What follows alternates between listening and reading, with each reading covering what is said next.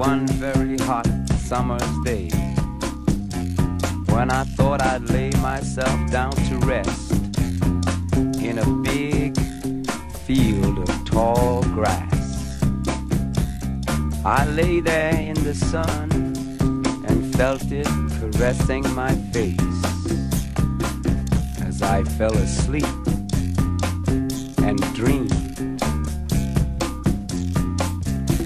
dreamed I was in a Hollywood movie and that I was the star of the movie. This really blew my mind.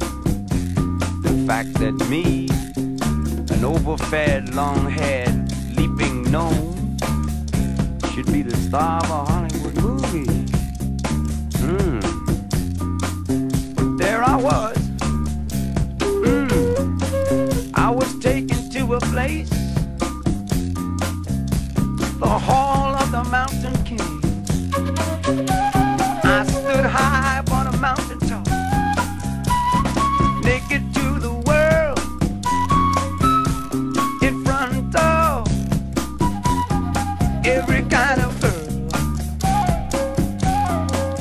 There was long ones, tall ones, short ones, brown ones, black ones, round ones, big ones, crazy ones.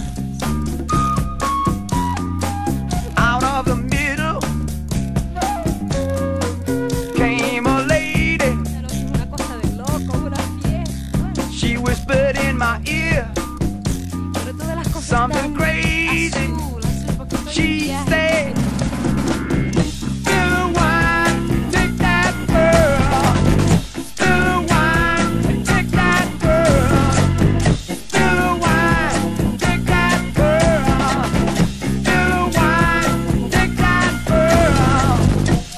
feel hot flames of fire roaring at my back.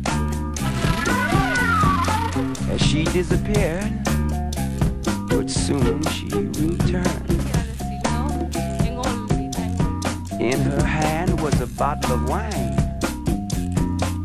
in the other, a glass.